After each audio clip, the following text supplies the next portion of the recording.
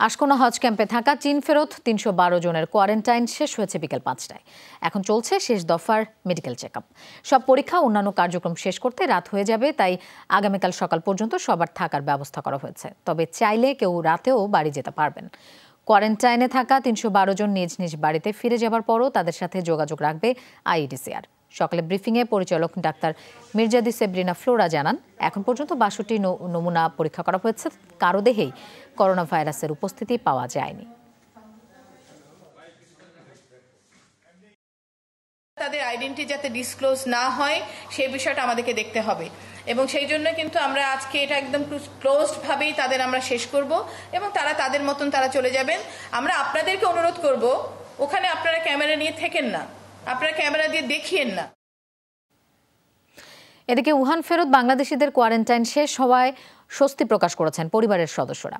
হজ ক্যাম্পে সার্বিক ব্যবস্থাপনায় সন্তুষ্টি প্রকাশ করেন তারা। বিশাল একটা ভাগ্য না থাকলে এরা এই বাংলাদেশে এই মুহূর্তে ওহান সিটি থেকে আসাটা সম্ভব ছিল না। সরকারের পুরাটাই কৃতিত্ব।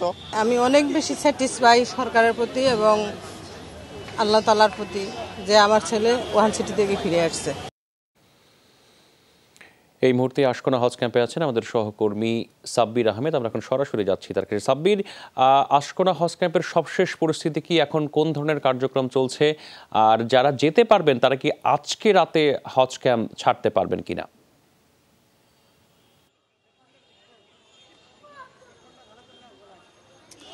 রাহাত, সর্বশেষ কার্যক্রম বলতে স্ক্যানিংটা শুরু হয়েছে কিছুক্ষণ আগেই, এই আধা ঘণ্টা মতো আগেই শুরু হয়েছে। সেখানে শরীরের তাপমাত্রা পরীক্ষা সহ আনুষঙ্গিক অন্যান্য কার্যক্রম রয়েছে, যেমন তাপমাত্রা পরীক্ষার পর সেই রিপোর্টগুলো লেখা হচ্ছে।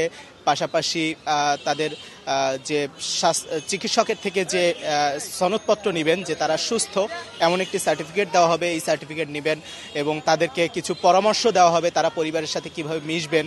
যে বলা হয়েছে যে তারা খুব এখন কোয়ারেন্টাইন শেষে তারা খুব স্বাভাবিকভাবেই স্বাভাবিক জীবনযাপনই করবেন। তবে এর ভেতরেও স্বাস্থ্য অধিদপ্তরের সাথে তাদের যোগাযোগ থাকবে। তাদের সার্বিক পরিস্থিতি তারা টাইম টু টাইম আপডেট জানাবেন স্বাস্থ্য অধিদপ্তরকে। এই সমস্ত নির্দেশনা, এই নির্দেশনা সহ পরীক্ষা নিরীক্ষা, এই কার্যক্রম শেষ করতে হয়তো নয়টা বাজতে পারে। তারপর যদি চান তারা, তাহলে তারা আসকোনা হজ ক্যাম্প আজকেই রাতেই ছাড়তে পারেন এবং যতটা জেনেছি যে যারা একা এসেছেন অথবা ঢাকার আশেপাশে যারা থাকেন, এমন সংখ্যা, অর্থাৎ প্রায় দুইশোর কাছাকাছি, তারা হয়তো আজকে রাতেই ছাড়বেন এবং বাকি যারা আছেন, তাদের জন্য রাতে থাকার ব্যবস্থা আছে। তারা আগামীকাল সকালে চাইলে যে কোনো সময়, সকালের পর থেকে যে কোনো সময় তারা যেতে পারবেন এবং এরই ভেতরে, অর্থাৎ বিকেলের পর থেকে দেখেছি কিছু পরিবারের সদস্য তাদের পরিজনের সাথে দেখা করতে বা তাদেরকে নিয়ে যেতে এখানে এসেছেন এবং সার্বিক ব্যবস্থাপনায় তারা সন্তুষ্টি জানিয়েছেন আমাদের কাছে। রাহাত। সাব্বির ধন্যবাদ আপনাকে